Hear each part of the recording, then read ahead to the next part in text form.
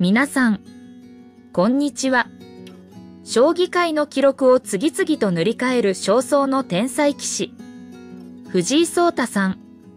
母親が明かす先天的に抱える難病の正体や、衝撃的な年収額に言葉を失う。今日は、藤井聡太さんのことについて紹介します。まずは、藤井聡太さんの経歴とプロフィールから紹介します。藤井聡太は、日本の将棋棋士、杉本正隆八段門下、棋士番号は307。2016年に史上最年少で4段昇段を果たすと、そのまま無敗で公式戦最多連勝の新記録を樹立した。その後、5段を除く昇段、一般棋戦優勝、タイトル挑戦、獲得、2冠から8冠までのそれぞれの達成、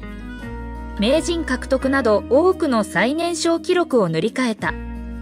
さらに、史上初の8冠独占、史上初の6年連続での年度勝率8割以上、タイトル戦番勝負における初登場からの連続獲得で歴代1位の19回、史上初の一般棋戦年間グランドスラムなど数多くの記録を残している。デビューからの29連勝などは、各メディアが広く取り上げて大きな話題になった。藤井の活躍により将棋ブームが起こり、社会現象的な人気は藤井フィーバーとまで呼ばれている。2016年12月24日に行われた第30期竜王戦6組ランキング戦加藤一二三との対局がプロデビュー戦となった両棋士の年齢差は62歳6ヶ月であり記録に残っているプロ棋士の公式戦では最大年齢差の対局となった藤井が更新するまで最年少棋士記録を保持していた加藤を110手で破った藤井は公式戦勝利の史上最年少記録を更新した。2017年4月4日、王将戦一次予選で小林博士に勝利し、プロデビューからの連勝記録を更新した。その後も連勝は続き、6月26日に行われた竜王戦サポン戦1回戦で5組優勝の増田康弘に勝ち、神谷博士が30年近く保持していた28連勝の記録を抜き、デビューから無敗のまま歴代最多連勝記録を更新した。藤井聡太の名は将棋界を超え、日本中に広がっています。愛知県瀬戸市出身の藤井聡太はわずか14歳2ヶ月でプロ入りを果たし、驚異的な連勝記録を樹立しています。藤井聡太の奇跡はメディアに広く取り上げられ、まるで風を巻き起こすような将棋ブームを引き起こしました。驚異的な成果を収めるプロ棋士の年収に多くの人が興味を抱くのも当然です。では、藤井聡太の年収はいくらなのでしょうか？また、藤井聡太がこれほどまでの人気を博す背後にある魅力は何でしょうか？ここでは、藤井聡太の収入や独特の魅力、日本の将棋界にもたらした影響について詳しく見ていきます。藤井聡太七冠の年収は将棋界での活躍が大きく影響しています。2022年の賞金対局料ランキングでは藤井聡太七冠が1位に輝き、総額はなんと1億2205万円に達しました。しかし、これは藤井聡太七冠の実際の年収全体を示しているわけではありません。1億2205万円には広告契約料などは含まれていないため、実際の年収はさらに上乗せされることとなります。多くの人にとって、年収1億2205万円以上は圧倒的に高額であることが伺えます。藤井聡太七冠として知られる藤井聡太の年収はどれほどなのでしょうか対局料獲得賞金広告契約などからの収入も気になる点です多くの人から注目されている藤井聡太七冠の収入の内訳について詳しく調査してみました。棋士の収入で大きな部分を占めるのが対局料です。対局料は棋士が実際に戦った対局ごとの報酬として支払われます。2022年の年間ランキングを見ると藤井聡太七冠の対局料は非常に高額で他の多くの棋士と比べても突出しています。継続的な高いパフォーマンスを維持しているため、藤井聡太七冠の対局料の額も高くなっているのです。獲得賞金は大会などの成績に応じて支払われる賞金のことを指します。2022年において藤井聡太七冠は多くの大会で好成績を収め、獲得賞金と対局料を合わせた額が1億2205万円となりました。1億2205万円は藤井聡太七冠のその年の実力と成果を如実に示しています。棋士としての実績だけでなく、藤井聡太七冠の人気や知名度から、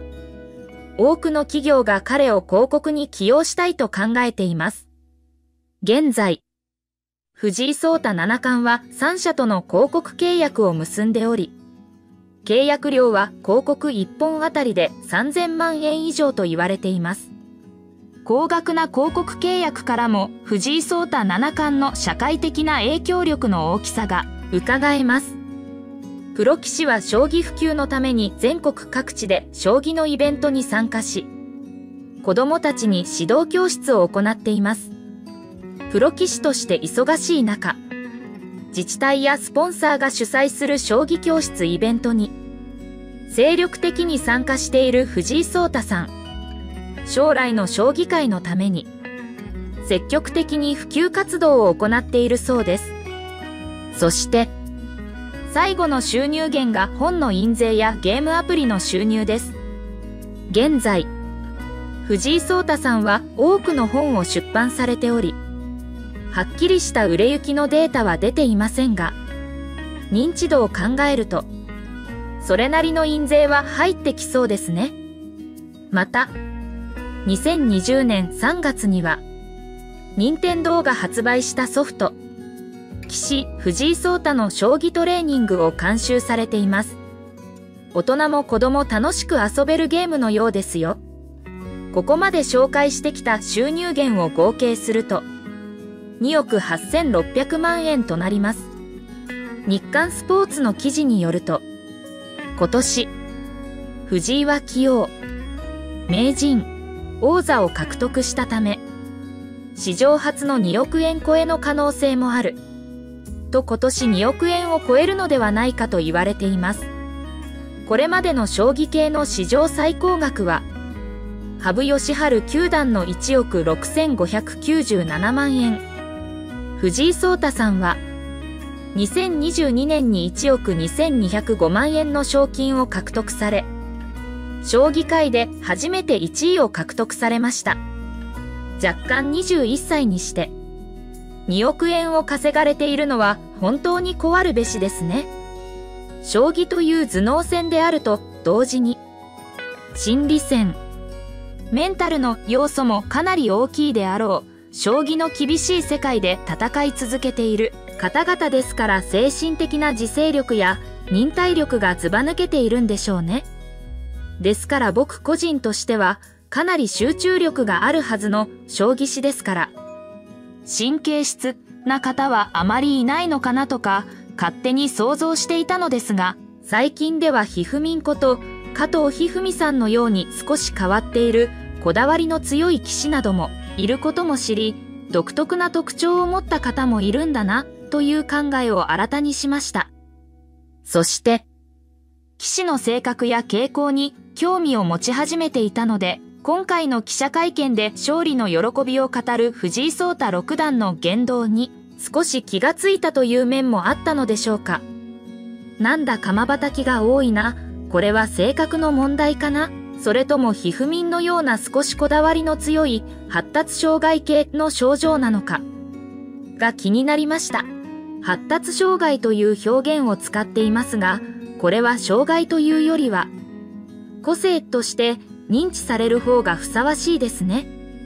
天才と言われる偉人たちがアスペルガーやサバン症候群であったという話はよく聞いたことがあります。優れた能力を持った人物はある意味で個性も強い方々なのかもしれませんね。藤井聡太さんには発達障害や病気はあるのでしょうか調べてみましたが藤井聡太さんに発達障害や病気があるという情報はありません。しかし、なぜ藤井聡太さんにこのような噂があるのでしょうか藤井聡太さんが障害だと言われる理由に話し方が独特があると思います。藤井聡太さんのインタビューを見てみると、藤井聡太さんの話し方は独特なように感じますよね。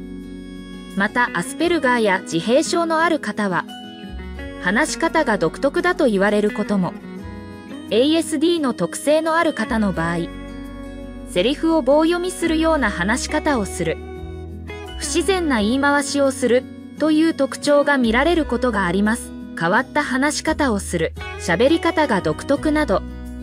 指摘を受けたことがある方も少なくないかと思います。このように独特な話し方としてセリフを棒読みするような話し方不自然な言い回し、難しい言葉や漢字表現、英語表現を好む、などのような特徴があるそうですよ。このように発達障害がある方には、独特な話し方をする人もいることが分かりました。藤井聡太さんの話し方が独特なので、発達障害だと思った方もいるのではないでしょうか。藤井聡太さんが障害だと言われる理由に人見知りがあると思います。藤井聡太さんのインタビューを見てみると、目を閉じたりする場面が多いように感じます。藤井聡太さんはインタビュー中に、目を閉じる時間が長いように感じます。また下を見ることも多く、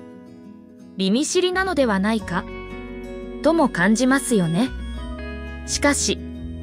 世間の反応を見ているとこのような声も、このような意見もあることがわかります。また相手に失礼のないように、考えて言葉を選んでいるとも考えられます。相手の顔を見ないからといって、人見知りだと断定はできないですよね。しかし、頭がいい人の中には、発達障害のような方が多いと言われています。頭の良い方が、発達障害というわけではありません。しかし、中には頭の回転が速い方もいることがわかりますね。藤井聡太さんは頭がよく天才と言われるので、発達障害と言われるのかもしれませんね。実際には、藤井聡太さんに障害や病気があるという情報はありません。話し方や頭の良さから、そのように言われる可能性が高いのではないでしょうか。これからも将棋界を引っ張っていけるように頑張ってほしいです。最後までご視聴いただき、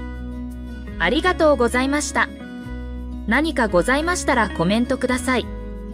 よかったら高評価とチャンネル登録もよろしくお願いします。ではまた次回でお会いしましょう。